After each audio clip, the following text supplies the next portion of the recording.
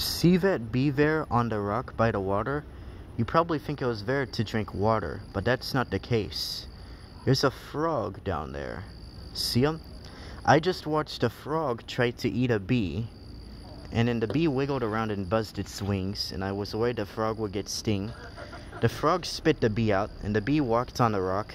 Didn't try to sting the frog though, the frog's not scared, he's just sitting there. I don't know if the frog got stinged or if the bee's okay. But they're just sitting there now, and it's like they respect each other, you know? They're like, respect. That was a good match.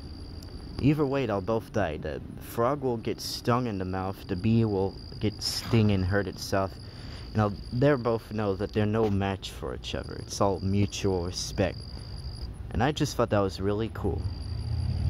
I wish people could respect each other as much as a frog and bee, that just tried to fight to the death.